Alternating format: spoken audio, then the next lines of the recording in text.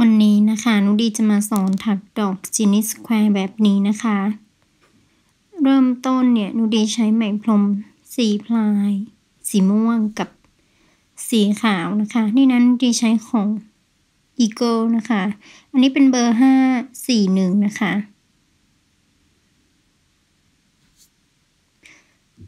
นี่นะคะ ก็เริ่มต้นด้วยสีม่วงก่อน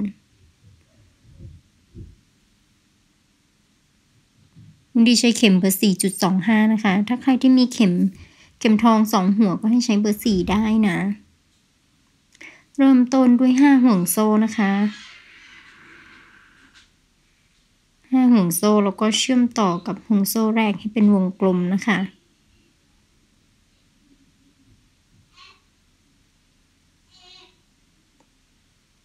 นี่นะคะ ก็เชื่อมต่อเป็นวงกลม ทีนี้ก็ถักขึ้นมาสองห่วงโซ่ แล้วก็ถักลายถักที ลงไปในวงกลมทั้งหมด 16 หลักนะคะลายถักที 16 หลักในวงกลมนะคะ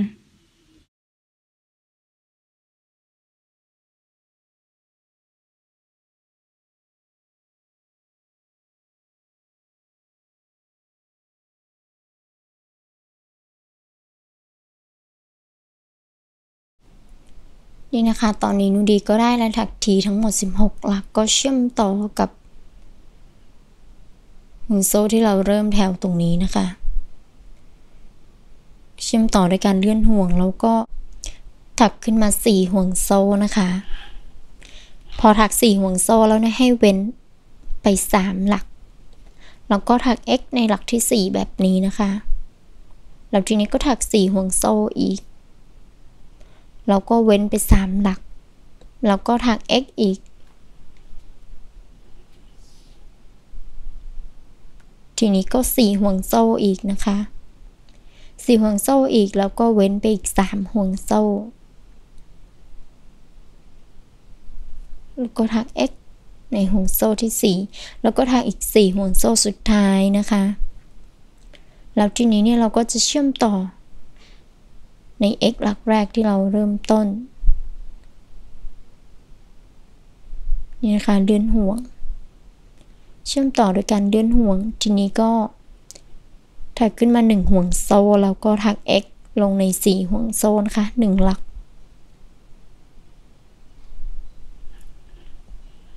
ทีนี้เนี่ยให้ถัก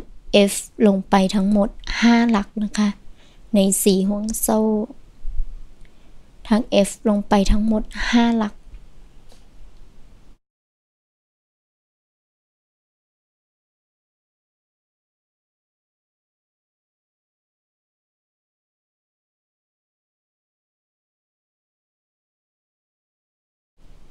ทีนี้พอเราได้ f ทั้งหมด 5 หลัก แล้วก็ซ้ำ x ลงไป 1 หลัก นี่นะคะ เราก็ได้ 1 กรีบสำหรับสีห่วงโซ่ตรงนี้ เราก็กระโดดมาที่ 4 ห่วงโซ่ถัดมา เราก็ถัก x ลงไป 1 หลัก เราก็ถัก f ลงไป 5 หลัก เพื่อเป็นการสร้างกลีบที่ 2 นะ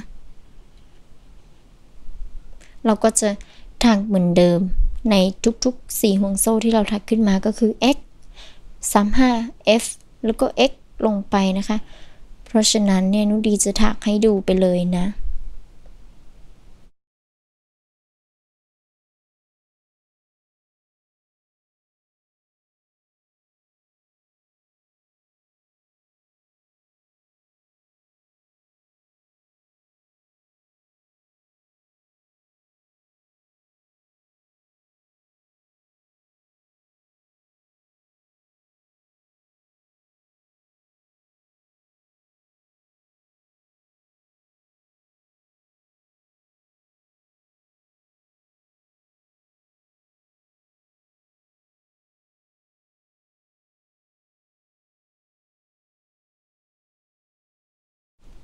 นี่นะคะนุดีก็จบ x ของกลีบสุดท้ายนุดีก็จะคล้องหลักด้านล่างแบบนี้นะคะ คล้องหลักด้านล่างแล้วก็ดึงเลื่อนห่วงขึ้นมา ทีนี้ก็ถักขึ้น 4 ห่วงโซ่นะคะ 4 ห่วงโซ่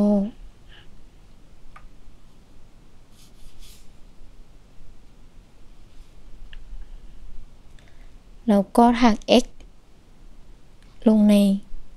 วงกลมด้านล่างนะคะ ในแถวแรกเลยนี่นะคะ x ในหลักที่ 3 ไม่ใช่นะคะ ในหลักที่ 2 เพราะว่าข้างล่างนี้เรามี 3 หลัก เราก็จะถักลงไปหลักตรงกลาง เราถัก x นะคะถัก x แล้วก็ 4 ห่วงโซ่นะคะ พอ 4 ห่วงโซ่แล้วเนี่ยเราจะถัก x คล้องตรงหลัก ตรงโคนตรงนี้ ระหว่างกลีบนี้นะคะ ก็คล้องตรงโคน เพื่อถัก x นะคะ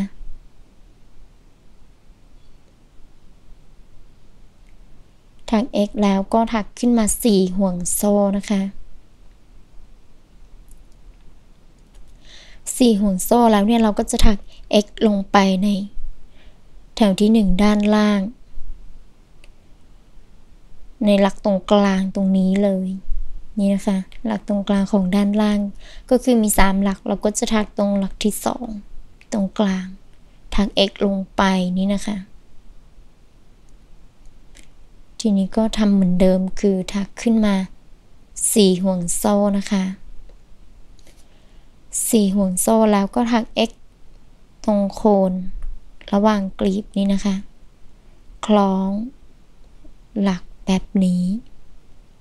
แล้วก็ดึงใหม่มา เพื่อเป็นการทัก x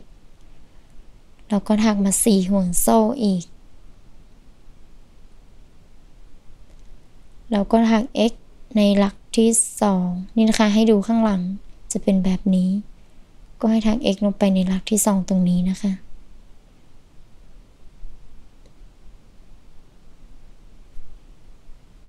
แล้วก็ตามด้วย4ห่วงโซ่นะคะเหมือนเดิมที่เราทักมารอบแถวแล้ว ทีนี้เนี่ยเราก็ทัก x ในโคนตรงนี้ นี่นะคะทัก x ลงไปแล้วก็4ห่วงโซ่นะ มาถึงที่กลีบสุดท้ายเราก็ทัก x ลงไปในหลักที่2ด้านล่างตรงนี้ทัก x นะคะแล้วก็ขึ้น4ห่วงโซ่ ทีนี้เราก็จะเชื่อมต่อกับตรงจุดที่เราถัก เริ่มต้นตรงนี้ เราก็ถัก x ลงไปในโคนเลย ถัก x ลงไปในโคนแล้วเนี่ย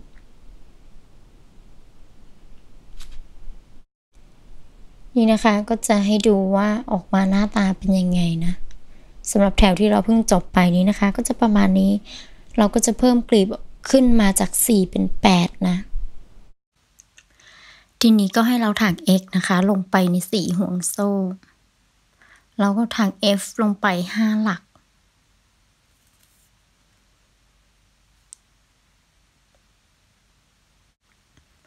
คือเราจะถักเหมือนแถวที่สามเมื่อกี้นะคะ ก็คือถัก x ในสี่ห่วงโซ่ซ้ำ 5f ลงไป แล้วก็จบด้วย x หนึ่งหลักแบบนี้นะคะ ทีนี้ก็จะข้ามมาที่ 4 ห่วงโซ่ถัดมาก็จะเริ่มด้วย x แล้วก็ลง f ลงไป 5 หลัก แล้วก็จบด้วย x แล้วก็กระโดดมาที่ 4 ห่วงโซ่อีกก็คือ เรามี 4 ห่วงโซ่ทั้งหมด 8 กลีบ เราก็จะถักกลีบแบบนี้ให้ได้ทั้งหมด 8 กลีบนะคะ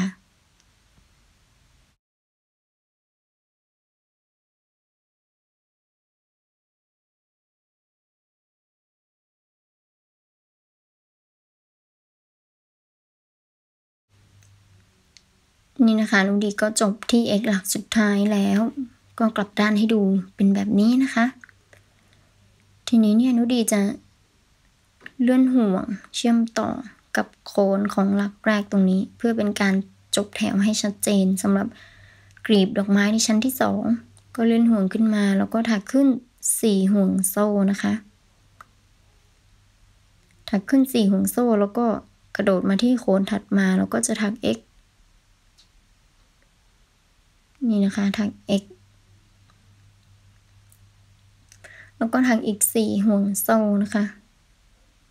แล้วก็กระโดดมาที่โคนถัดมาแล้วก็ถัก x เหมือนกัน ก็ประมาณนี้นะคะ ทุกคนก็จะเข้าใจหลักการแล้วก็คือเราจะสร้าง เราจะสร้างตัวเริ่มต้นกลีบดอกไม้ของเรา ด้วยการถักซีห่วงโซ่ขึ้นมา 8 รอบนะคะแปดครั้ง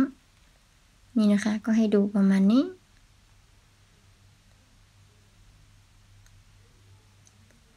ทีนี้เนี่ยนุดีก็ถักเสร็จเรียบร้อยแล้ว ก็ให้ดูนะคะ ก็จะมีทั้งหมดแปดรอบด้วยกันนะคะแปด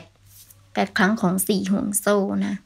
นุดีก็กลับมาที่สี่ห่วงโซ่ที่นุดีถักไว้ แล้วก็นุดีจะถักเลื่อนห่วงเข้าไปในโคนของตรงนี้ ที่เราเริ่มต้นแถวนะคะนุดีก็จะดึงไหมขึ้นมาเพื่อเป็นการเลื่อนห่วงเลย แล้วก็ถักหนึ่งห่วงโซ่ล็อกไว้นี่นะคะหนึ่งห่วงโซ่ล็อกไว้เพื่อเป็นการจบแถวแบ่งให้ชัดเจน พอหนึ่งห่วงโซ่แล้วเนี่ยก็มาที่สี่ห่วงโซ่ตรงนี้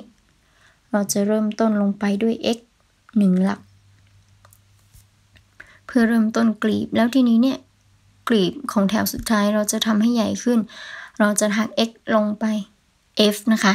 เราจะถัก f หรือว่าลายถักพอหนึ่งคอเนี่ยถักลงไปทั้งหมด 8 หลัก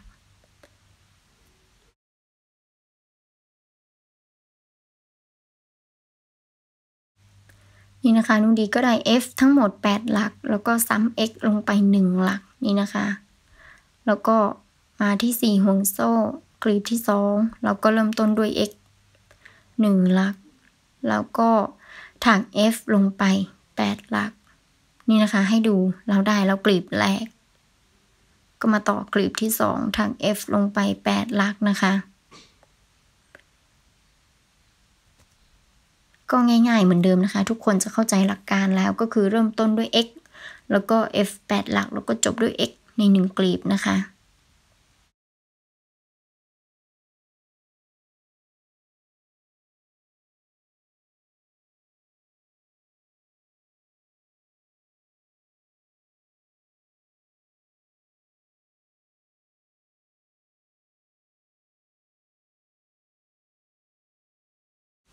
นี่นะคะ ตอนนี้นุ่นดีก็มาถึงกลีบสุดท้ายนุ่นดีก็ถัก x ลงไป เพื่อเป็นการจบขอบกลีบ แล้วนุ่นดีก็จะ คล้องนี่ค่ะ ใต้หลักตรงนี้เลย คล้องขึ้นมาถักเลื่อนห่วง แล้วก็ถักขึ้นมาห้าห่วงโซ่นะคะห้าห่วงโซ่ขึ้นมา แล้วก็ถัก ไปที่โคนถัดไปนี่นะคะก็ถัก x เราก็ ถักขึ้นมาห้าห่วงโซ่ วิธีการถักทุกคนก็จะเข้าใจนะคะ ก็คือเหมือนที่เราถักที่ผ่านมา ถัก x ที่โคน แล้วก็ถักห้าห่วงโซ่ แล้วก็ถัก x ที่โคน ดังนั้นเนี่ยเราจะยังมีห้าห่วงโซ่เนี่ยทั้งหมด 8 กลีบเหมือนเดิมอีกนะคะ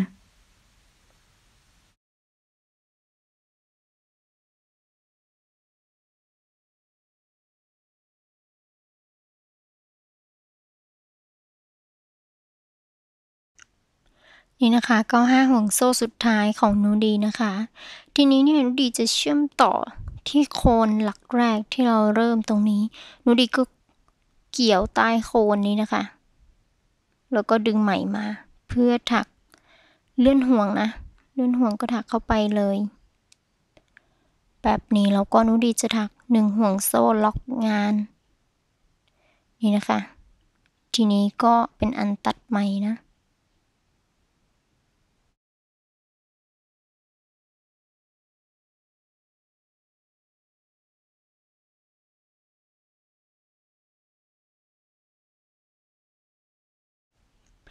นี่นะคะก็ออกมาประมาณนี้นะคะ ให้ดูด้านล่างเราก็จะมีห้าห่วงโซ่ทั้งหมด 8 ลูปนะคะ ทีนี้เนี่ยมาที่สีขาว ก็หนึ่งห่วงโซ่ล็อกที่หัวเข็มไว้ นี่นะคะแล้วก็ถักตรงห้าห่วงโซ่ตรงไหนก็ได้นะคะ แต่นุดีอยากได้ตรงที่นุดีจบงานเพื่อที่จะเก็บปลายไหมของสีม่วงด้วย ก็เชื่อมต่อเข้าไปเลยนี่นะคะหนึ่งห่วงโซ่ล็อกเข้าไปที่ตัวงาน แบบนี้แล้วก็ถักขึ้นมานะคะสามห่วงโซ่นะสามห่วงโซ่แล้วก็ถัก F ลงไปสามหลักนะคะ F สามหลัก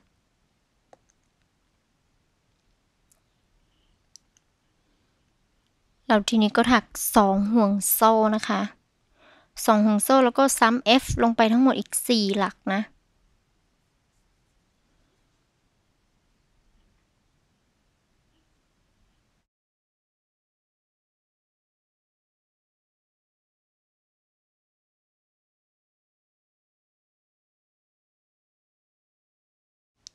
นี่นะคะก็ได้ F ทั้งหมด 4 หลัก อันนี้จะเป็นมุมนะคะ ก็ถัก 1 ห่วงโซ่มา แล้วก็ ที่ 5 ห่วงโซ่ตรงนี้ก็ถัก F ลงไป 4 หลัก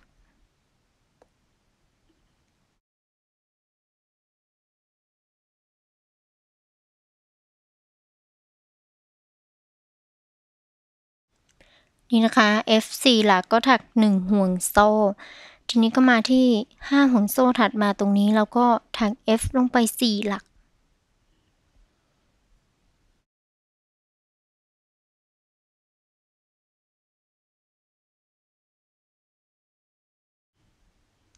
เมื่อได้ F 4หลักแล้วก็ถัก 2 ห่วงโซ่เพื่อสร้างมุมนะคะ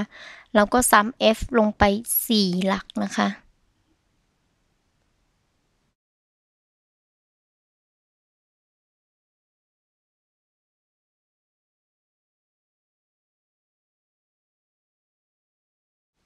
นี่นะคะ F 4 หลัก ก็ถัก 1 ห่วงโซ่มาแล้วก็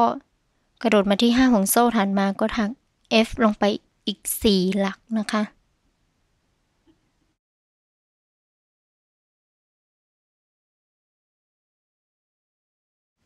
นี่นะคะก็ F4 หลักหนึ่งห่วงโซ่ นี่นะคะ กลับด้านให้ดู ก็จะออกมาประมาณนี้นะคะ ตอนนี้เราได้สองด้านแล้ว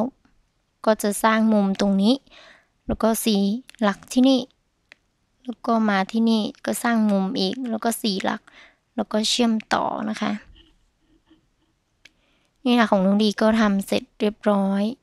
ก็ให้ดูประมาณนี้นะคะ ด้านล่างเนาะทุกคนจะพอจะเข้าใจนะหลักวิธีการ ทีนี้ก็มานุดีจบแถวนุดีก็เชื่อมต่อที่ 3 ห่วงโซ่นะคะ 1 ห่วงโซ่ก่อน แล้วก็เชื่อมต่อที่ 3 ห่วงโซ่ที่นุดีเริ่มหลักขึ้นมานะคะ เชื่อมต่อด้วยการเลื่อนห่วงขึ้นมา ทีนี้เนี่ยให้ถักเลื่อนห่วงไปถึง 2 ห่วงโซ่ตรงกลาง ก็ถักเลื่อนห่วงบนหลักไปเลยนะคะ ไปให้ถึงสองห่วงโซ่ตรงกลางนะคะ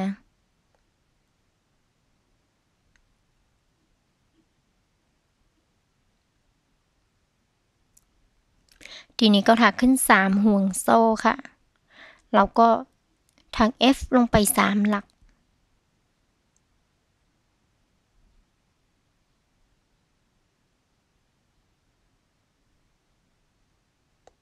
แล้วก็ถักสองห่วงโซ่นะคะ แล้วก็ซ้ำ F ลงไปอีก 4 หลัก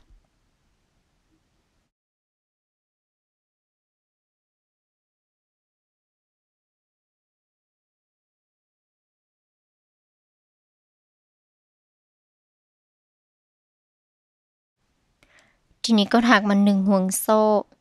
แล้วก็กระโดดมาตรงหนึ่งห่วงโซ่ตรงนี้นะคะ ก็ถัก F ลงไป 4 หลักนะคะ ในหนึ่งห่วงโซ่ที่เราถักไว้ในแถวแรกเมื่อกี้นะ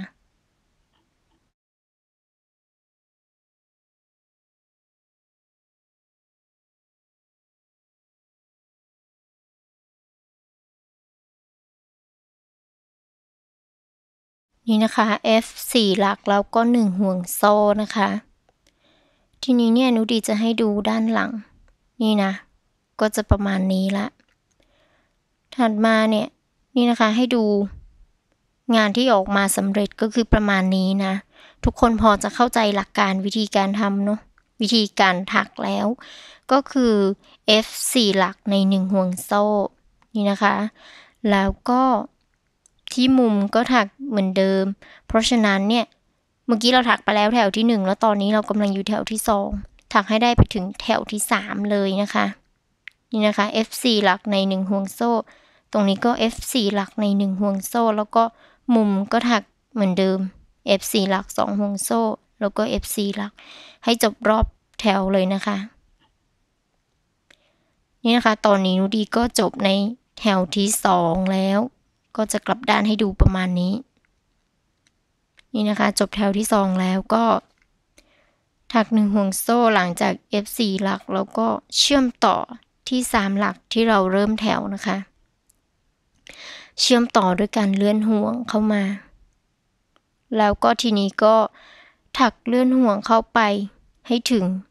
ตรงสองห่วงโซ่ตรงกลางนะคะ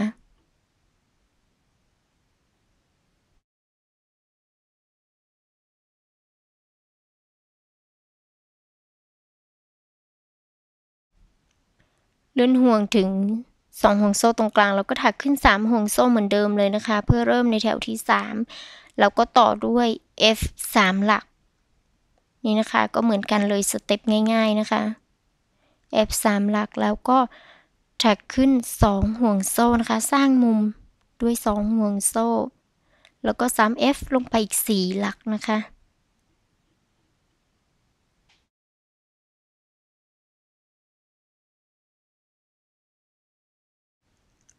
F 4หลักแล้วก็1ห่วงโซ่นะคะ แล้วก็ ทั้ง F 4หลักใน 1 ห่วงโซ่ถัดมานี้นะคะ ก็ถักง่ายๆ เหมือนที่เราถักแถวที่ 2 นะคะ ทุกคนก็เข้าใจหลักการแล้วมาถึงในแถวที่ 3 นะนี่นะคะวางให้ดูในแถวที่ 3 ของเราเนี่ย หน้าตาใกล้จะออกมาถึง ตัวที่นุดีทำเสร็จไว้ให้ดูตรงนี้นะคะ ก็ให้ทุกคนถักให้จบแถวนะคะ